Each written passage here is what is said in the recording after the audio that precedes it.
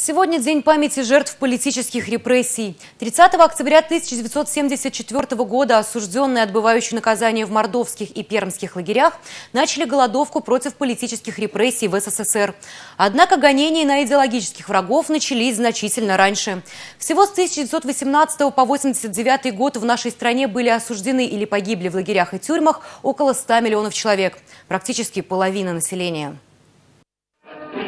Придя к власти, большевики начали переписывать историю, безжалостно вычеркивая из нее имена политических оппонентов, меньшевиков, эсеров, кадетов. Пик репрессий пришелся на 30-е годы, когда врагами Родины объявили миллионы человек. Часть их была расстреляна, часть погибла в лагерях. В Чувашии, по официальным данным, советская система погубила свыше 14 тысяч человек. В их числе советские партийные руководители, врачи, учителя, рабочие крестьяне, священнослужители, представители дореволюционного дворянства, творческой интеллигенции. В Чебоксарах тела расстрелянных их закапывали на окраине городского кладбища по улице Богдана Хмельницкого. Скажите, пожалуйста, а вы знаете, по какому поводу сегодня цветы здесь?